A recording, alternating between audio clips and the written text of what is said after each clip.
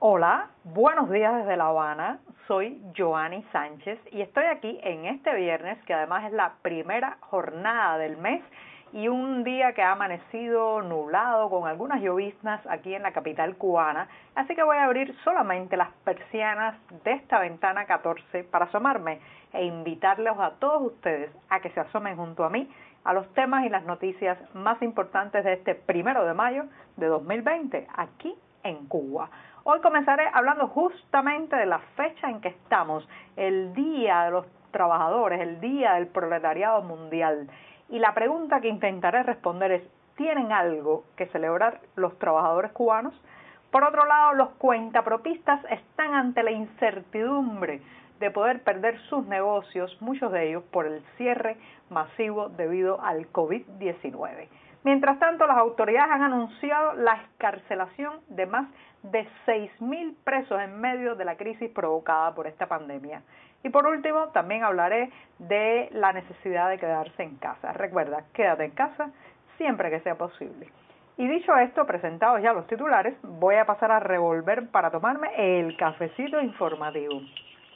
Sé que muchos de ustedes están hoy en una jornada feriada, otros en obligado confinamiento por la pandemia, pero aquí está mi cafecito, el mismo que de lunes a viernes, compacto, recién colado, breve, amargo como me gusta a mí, pero siempre, siempre necesario.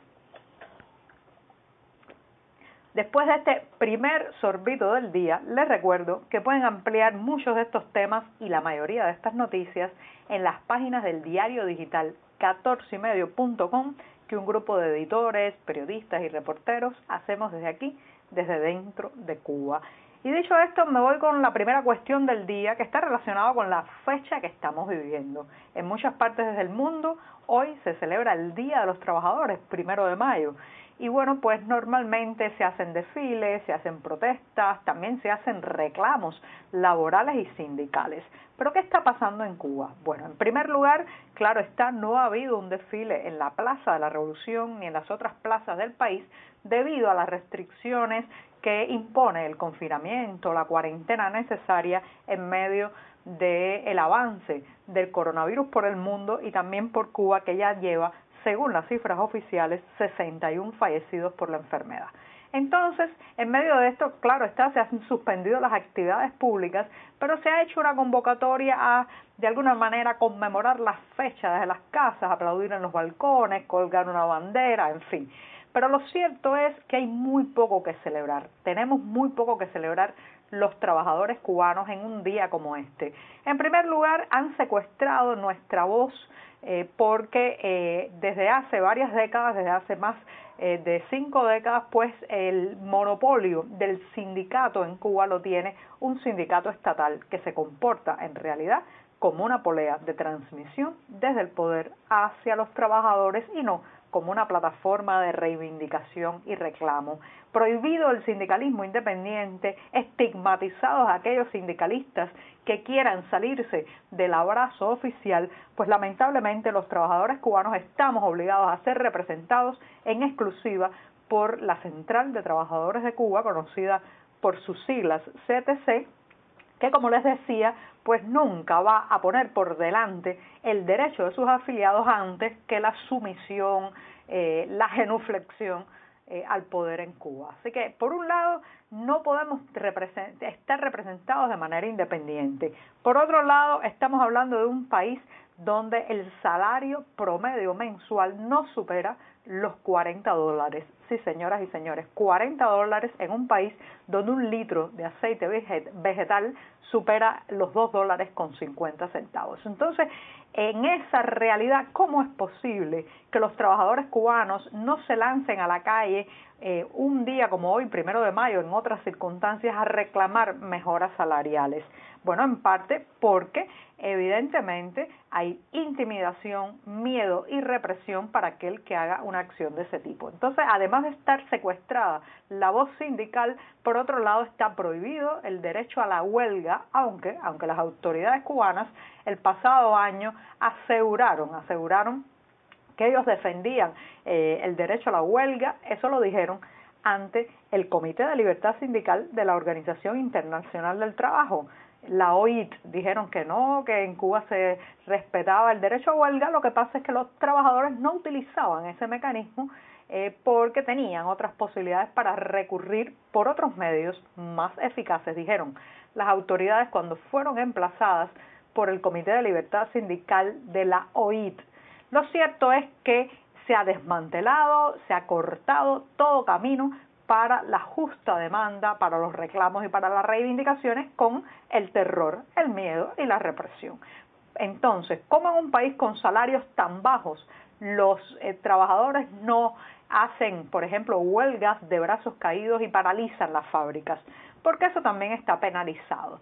De manera que alguien que lidere o se sume a una acción de este tipo muy probablemente sea expulsado de su trabajo, no pueda encontrar nunca más un puesto eh, de responsabilidad o de cierta importancia o eh, con mayores beneficios. Entonces, eh, bueno, pues los trabajadores cubanos tienen miedo a perder su poco sustento. Por otro lado, también hay que decir que se habla mucho de que en Cuba se ha eliminado la explotación del hombre por el hombre, pero es absolutamente falso. Lo único que se ha cambiado es que ahora el patrón que gana la plusvalía, que explota, es un patrón llamado Estado o llamado Partido Comunista, que realmente el gran capitalista o latifundista en este país que paga míseros salarios, extorsiona a los trabajadores y saca abultadísimas plusvalías del trabajo de las personas. Así que ese es más o menos el panorama actual a lo que habría que agregar eh, unas grandes violaciones de los derechos laborales, de protección, una, una, eh, una situación de desvalimiento fragilidad en cuanto a los pagos que se realizan cuando hay accidentes laborales, las indemnizaciones en estos casos, las investigaciones independientes y también pues todo el tema de la seguridad social que suma eh, o sume a la mayoría de los trabajadores que la necesitan en una situación de bastante indigencia material porque sus cuantías son muy pequeñas. Entonces, el panorama, resumiendo, es que este primero de mayo Día de los Trabajadores, el proletariado o los trabajadores cubanos nos enfrentamos a la realidad de no contar con derechos sindicales, tener prohibido el derecho a la huelga, ser explotados, mal pagados y para colmo no podernos quejar porque la represión, la coacción y la intimidación están allí para recordarnos que a la plaza o el primero de mayo solo se puede ir a aplaudir y a apoyar, pero no a exigir reivindicaciones, a poner las demandas y mucho menos a criticar la actual situación. ¿Eso cambiará? Espero que sí, porque bueno, hay cada vez más inconformidad y bueno, pues eh, se escuchan también las voces de sindicalistas independientes, de figuras que están tratando de promover el respeto a los derechos laborales en este país. Pero por el momento el panorama es bastante gris y no hay mucho que celebrar en esta isla en el Día del Proletariado Mundial.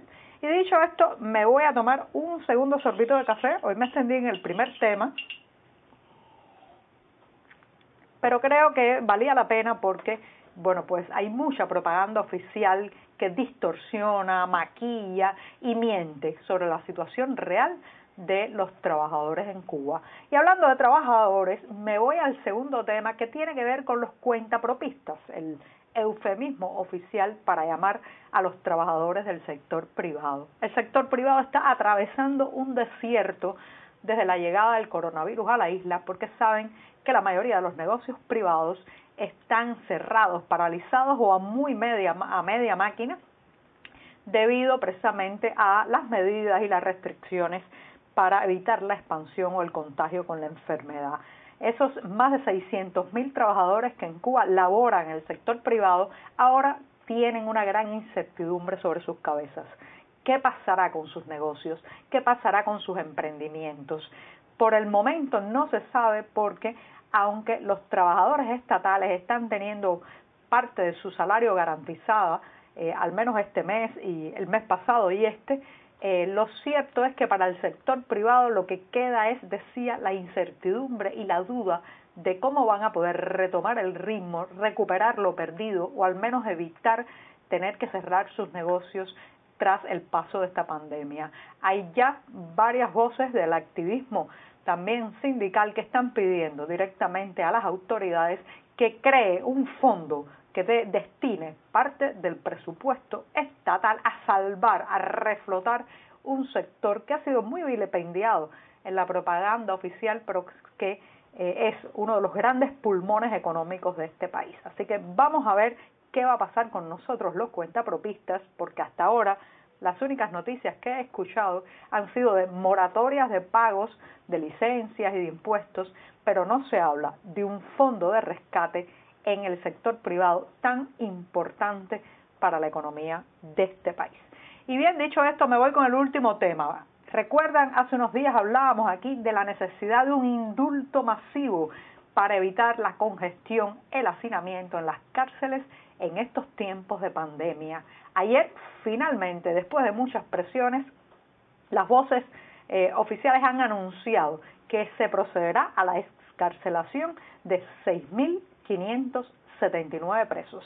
Sí, un poco más de 6.000 presos eh, serán escarcelados en los próximos días en una medida que se inscribe en el combate al COVID-19 en Cuba. Una buena noticia, el Observatorio Cubano de Derechos Humanos con sede en Madrid ya ha dado su visto bueno a esta liberación o escarcelación, pero de paso ha pedido que no se quede allí y que se liberen también a los más de 100 presos políticos que hay en esta isla. Así que vamos a esperar si habrá un anuncio en esa dirección. Y con esto, con esto me despido hasta el próximo lunes, no sin antes recordarles que se queden en casa.